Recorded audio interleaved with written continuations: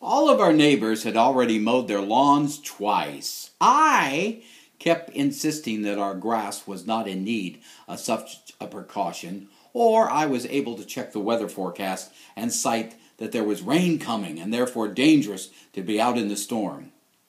For you see, in my house, it was my job to be the caretaker of the green. I hated it. I avoided it. I even pretended I was sick to escape the arduous chore of pushing our power mower around the yard to guarantee my $1 a week allowance. Part of it was teenage rebellion. There is certainly a misunderstanding about that condition. Teenage rebellion is not a choice like whether to wear a hat to the beach. It's more like an emotional diarrhea which attacks you when you least expect it, causing you to run out of the room screaming. And in addition, I was a fat boy, and the idea of walking around back and forth to simply receive the payoff which pleases your family for only about eight days was not enough to motivate me to fire up the old growler to give the yard a haircut. I even listened to people's suggestions on how to cut the lawn and make it enjoyable. I was never able to recapture their ecstasy. But worst thing of all, my dad expected me to use the hand trimmers after I finished mowing and caretake the areas that were not able to be reached by the blades.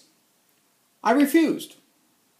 Matter of fact, I can't remember doing it more than two or three times because it demanded two actions that every fat boy dreads bend over or kneel down. My body type was more suited for standing, sitting, or reclining. After a while, my dad was content when I actually did mow the lawn before a machete was needed, so much so that he completely dropped the trimming issue. He got tired of hearing me claim that the blades were too rusty to cut through the overgrowth.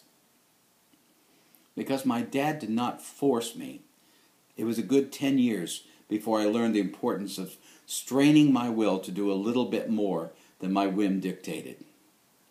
So when I raised sons, I learned that there are three purposes for discipline. Number one, to get your kid to confront his or her weakness. Number two, in the process, to address their fear. And three, maybe most important of all, they are trapped into doing something they really just don't want to do. If you consider this discipline to be cruel or unusual, you will probably give your children a pardon which will later haunt them as they continue the crime of laziness.